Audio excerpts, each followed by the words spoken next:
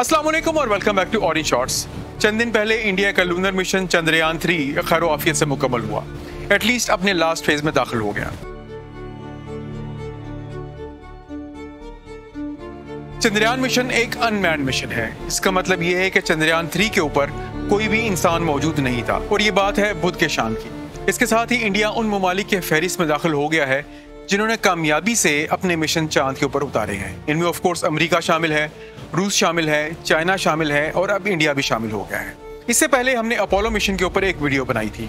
उस वीडियो में आप लोगों का अक्सरियत से सवाल ये आया था कि तब जब इतना मुश्किल था एक इंसान को चाँद पर भेजना और कुछ भी आगाही नहीं थी एक एक चीज़ के ऊपर काम किया गया, रॉकेट से लेके, उनके कैबिन से लेके, इस चीज़ से लेके कि उनसे मवासलात कैसे एक्सचेंज होंगी और इस चीज़ से लेके कि वो वहाँ से जब वापस वीडियो भेजेगा तो वो वीडियो भेजेगा कैसे?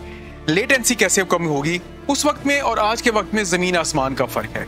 तो फिर आज चाँद के ऊपर मैन मिशन क्यों नहीं जाते?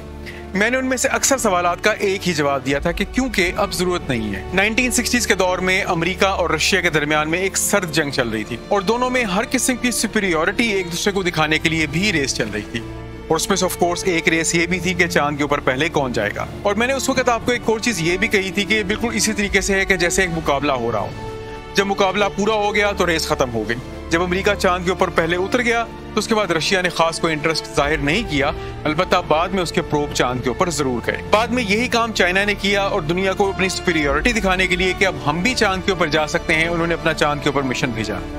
तो क्या इंडिया भी इसी रेस का हिस्सा है या इस पूरे के पूरे मिशन का कोई और मकसद भी है? क्या इससे हमें कोई साइंटिफिक एडवांटेज होंगे? अगर हाँ तो वो क्या है? और अगर नहीं तो फिर चाँद के ऊपर ये मिशन भेजा क्यों गया? मैं आज इन्हीं सवाल का आपको एक मुकम्मल जवाब देने की कोशिश करूँगा। लेकिन इससे पहले कि मैं आपको इन तमाम सवाल का जवाब दूँ, क्यों ना आपको चंद्रयान मिशन के बारे में आगाह कर दूँ।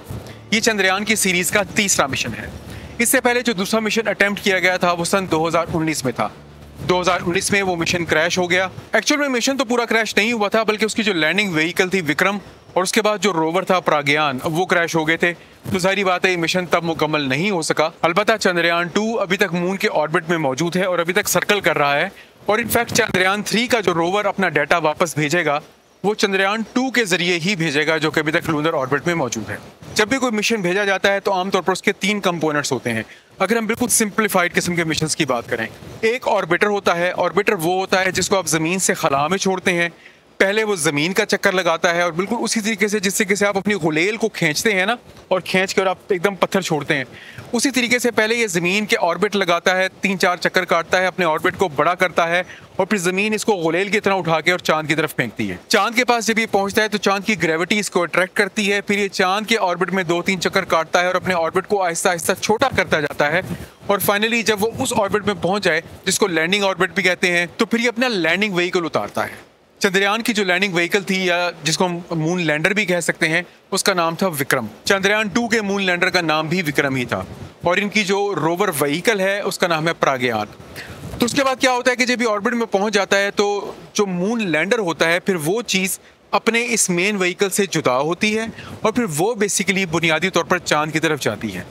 जब वो बुखैर वाफियत से टच डाउन कर जाती है तो उसके बाद उसका रैंप खुलता है और उसमें से रोवर निकलता है। ये चीज़ इससे पहले कई मरतबा प्रैक्टिस की जा चुकी है। चाइना ने भी की है, रशिया ने भी की है, अमेरिका ने भी की है, और ख़ासतौर पर अमेरिका के जो मार्स के ऊपर मशहूर ज़माना रोवर्स अभी तक मौजूद हैं, वो तमाम इसी तरीके से उतारे गए हैं। इस रोवर के ऊपर फिर मजीद मशीनरी मौजूद होती है, जिसमें आपके कैमराज आते हैं, स्पेक्ट्रोमीटर्स आते हैं और कोई भी ऐसा एक्सपेरिमेंट जो आप वहाँ पे करना चाह रहे हो, उससे रिलेटेड आलात उसके ऊपर मौजूद होते हैं। इससे पहले कि हम इस चीज़ की बात करें कि चंद्रयान थ्री ने एक डिफरेंट चीज़ क्या की, मैं आपको पहले ये बता दूँ कि आमतौर पर अभी तक क्या होता आया है। अमरीका और इंडिया, इन दोनों को एक एडवांटेज हमेशा हासिल ये रहा है कि इनकी लैंडिंग साइट्स इक्वेटर के करीब थी। आप में से जिन लोगों को स्पेस के बारे में आगाही है और स्पेस मिशन के बारे में आगाही है, उनको पता होगा कि ये एक काफ़ी बड़ा एडवांटेज आपको राइट फ्रॉम द बिगिनिंग मिल जाता है जब आपका मिशन लॉन्च होता है और ज़मीन को ऑर्बिट करना शुरू करता है। आपकी आपकी साइट जितनी इक्वेटर के करीब होंगी और एक अच्छे वेल एस्टेब्लिश्ड एरिया के ऊपर मौजूद होंगी, उतना आपके लिए स्टार्ट आसान होता है। उसके बाद ज़मीन के गिर्द घूमना, फिर फ्लंग करना और इसी इसी तरीके से जब मून के ऊपर वो व्हीकल्स पहुँच जाए तो फिर मून के ऊपर उतरना भी खास तौर पर इक्वेटर के मून के इक्वेटर की बात हो रही है यहाँ पे। उसके पास उतरना आसान होता है पोल्स पे उतरना मुश्किल होता है। क्योंकि इक्वेटर के ऊपर आप आराम से सर्कल कर सकते हैं, अपना ऑर्बिट छोटा कर सकते हैं और अपना मून लैंडर लॉन्च कर सकते हैं। अगर आपने किसी पोल के करीब ये लॉन्च करना हो तो थोड़ा सा मुश्किल हो जाता है। एग्ज़ाम्पल लेनी है तो रशिया के लूना ट्वेंटी के एग्ज़ाम्पल ले लें। कुछ अर्सा पहले की बात है कि लूना 25 ने साउथ पोल जो मून का साउथ पोल है, उसके पास उतरने की कोशिश की थी और वो नाकाम हो गया था क्रैश हो गया था। तो चंद्रयान थ्री की एक अचीवमेंट तो ये है कि ये पोल के पास उतरने में कामयाब हुआ और इसका मून लैंडर विक्रम वहाँ पर आसानी से उतर गया। उतरने के बाद उसने अपना रैंप खोला और रैंप खोलने के बाद उसमें से प्राज्ञान निकला और प्राज्ञान वो रोवर है जिसने के सारे के सारे एक्सपेरिमेंट्स अंजाम देने हैं। छोटा सा रोबोट जो कि पहियों के ऊपर मौजूद है और उसके ऊपर वो तमाम इक्विपमेंट्स लगे हुए हैं जो कि एक्सपेरिमेंट्स करने के लिए ज़रूरी होते हैं। अभी सबसे पहली चीज़ जिसमें मैं इंटरेस्टेड हूँ, वो तो ये है कि प्राज्ञान कैसी तस्वीरें वहाँ से भेजता है। क्योंकि तस्वीरें हमें जो मार्स से मिली, वो फैसिनेटिंग थी। जो चाँद से आज तक हमें तस्वीर मिली है, वो भी फैसिनेटिंग है। और चूँकि अब ये बिल्कुल डिफरेंट परस्पेक्टिव आ गया ना साउथ पोल के आसपास आ गया तो वहाँ से जब रोवर चलेगा और तस्वीरें लेगा तो डेफिनेटली ये फिर और मजीद इंटरेस्टिंग होगी। चाँद की एक और इंटरेस्टिंग बात, जो कि मैं आपको कई बार पहले बता चुका हूँ, दोबारा बता देता हूँ। चाँद की हमें जो शक्ल नज़र आ रही होती है, अगर आपने कभी भी गौर किया हो तो हमेशा एक ही जैसी होती है। हमें वही साउथ में क्रेटर नज़र आता है और वही डिफरेंट क्रेटर्स और वही की तमाम चीज़ें नज़र आ रही होती है जो कि हमें हमेशा नज़र आती हैं। चाँद इज़ ऑलवेज फेसिंग अर्थ चाँद की सेम साइड हमें हमेशा नज़र आ रही होती है।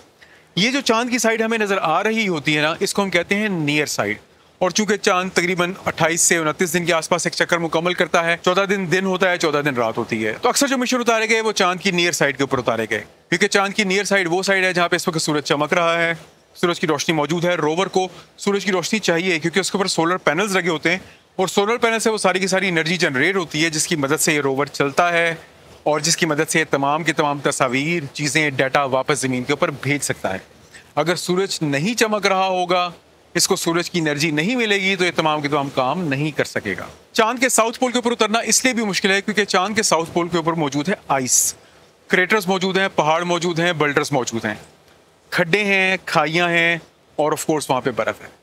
तो इसका एक मकसद तो ये है कि वहाँ पे पहुँच के इसने ये तलाश करना है कि क्या ये आइस जो है, पानी वाली आइस है। We don't know as of yet of course details आएँगी तो हमें पता चलेगा। एक बात और ये भी कही जा रही है कि क्या चाँद को कभी हैबिटेबल बनाया जा सकता है, क्या वहाँ पे इंसान रह सकते हैं। तो मेरे ख्याल में वहाँ पे इंसानों के रहने की वजह तो एक सिर्फ़ और सिर्फ़ ये हो सकती है कि वहाँ से कोई मिनरल्स निकल आएँ, जो कि मिनरल्स वहाँ पे हमें पहले से पता है कि मौजूद हैं, जिनको खोद के निकाला जाए, ज़मीन पे भेजा जाए इस्तेमाल के लिए। अगर हम उसको एक हैबिटेबल क्लाइमेट बनाना चाहें तो वो तो मेरे ख्याल में मुमकिन हो भी नहीं पाएगा और उसका फ़ायदा भी कोई नहीं है। क्योंकि जब ज़मीन ख़त्म होगी तो चाँद तो वैसे भी नहीं बचेगा। इससे पहले चाँद के नॉर्थ पोल के करीब मिशन उतारे जा चुके हैं साउथ पोल के करीब उतारे जा चुके हैं, लेकिन बहरहाल चंद्रयान थ्री एक ऐसा मिशन है जो कि साउथ पोल से करीब तरीन है। इससे पहले इतना करीब तरीन साउथ पोल के मिशन कोई भी नहीं उतारा गया।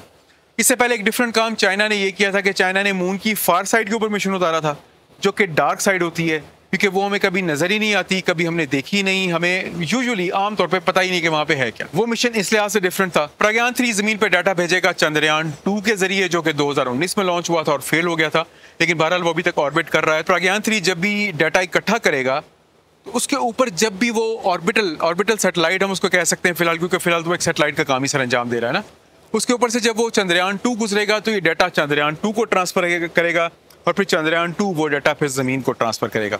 So this is how the data transfer will occur Pragyan three की अगर हम ज़िंदगी की बात करें तो फ़िलहाल वो चौदह दिन की है जब तक सूरज चमक रहा है। जब सूरज चमकना बंद हो जाएगा और अगले चौदह दिन की रात आएगी जब हमें चाँद नज़र नहीं आ रहा होगा तो उस वक्त क्या होगा कि Pragyan three will be dead उसके बाद जब वापस सूरज निकलेगा तो 90 परसेंट चांसेस यही है कि फिर ये प्राज्ञान जो है काम करेगा नहीं। इंडियन स्पेस एजेंसी को इस पूरे के पूरे मिशन में ताउन हासिल था यूरोपियन स्पेस एजेंसी का। इनके दरमियान में एक एग्रीमेंट हुआ था इंडियन स्पेस एजेंसी और यूरोपियन स्पेस एजेंसी में, और उसके बाद फिर यूरोपियन स्पेस एजेंसी ने इंडियन स्पेस एजेंसी को असिस्टेंस और कोलेबोरेशन फराहम की ताकि मिशन बखैर आफियत और बखैर खूबी मुकम्मल हो सके। अब चौदह दिन ये मून रोवर करेगा क्या?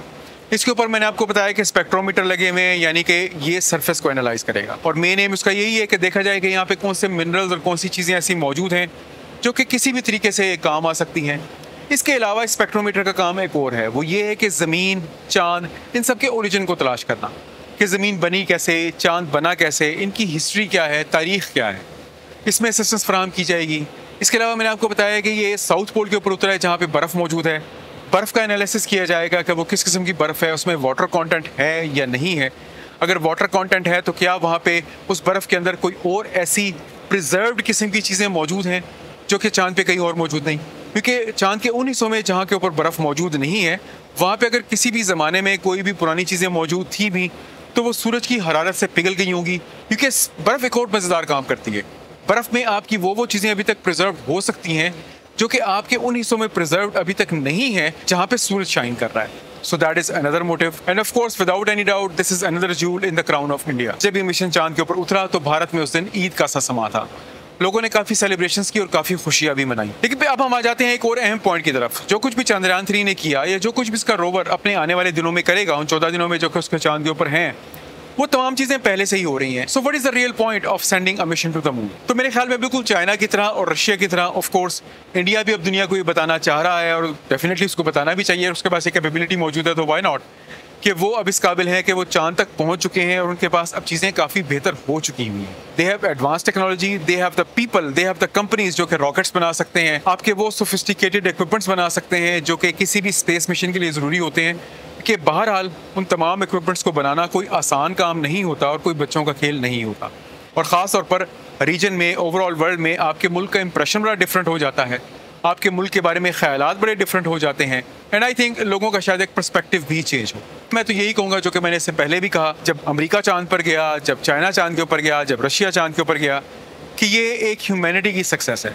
अब इंसान इस काबिल हो चुका है कि वो ज़मीन की हदें क्रॉस करके, ज़मीन के मून और उसके बाद फिर और प्लैनेट्स के बारे में सोच रहा है। अगर आप मेरी वो वीडियो देखना चाहें, जिसमें मैंने इस चीज़ का ज़िक्र किया था कि इंसान चाँद पर गया था या नहीं गया था तो उसका लिंक होगा यहाँ। और अगर आप मार्स के बारे में जानना चाहें और उसके ऊपर लाइफ के बारे में जानना चाहें तो वो वीडियो लिंक होगी यहाँ। अगली वीडियो तक अपना ढेर सारा ख्याल रखिएगा, दुआओं में याद रखिएगा। with tons of love to my Orange Shorts family and to be Orange Shorts family. This is me Zahid Nisar. आप लोग देख रहे हैं Orange Shorts और अगली वीडियो तक अल्लाह हाफिज़